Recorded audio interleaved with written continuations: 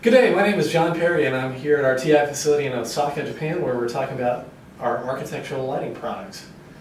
We'll be demonstrating the TLC 5971 which is a 12 channel 60 milliamp constant current sink LED driver. Uh, this particular part has a, an operating VCC range from 3 to 17 volts and in addition has an onboard linear regulator so that the, the same voltage that's applied to the LED cathodes can also power the digital core of the chip.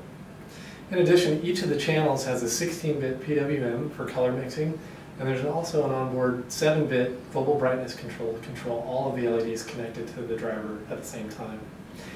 The interface is single-ended with uh, up to 20 megahertz clock speeds, and the chip has been designed for no-limit cascade. The demonstration we have here is the TLC 5971, which as I mentioned is the 12-channel LED driver.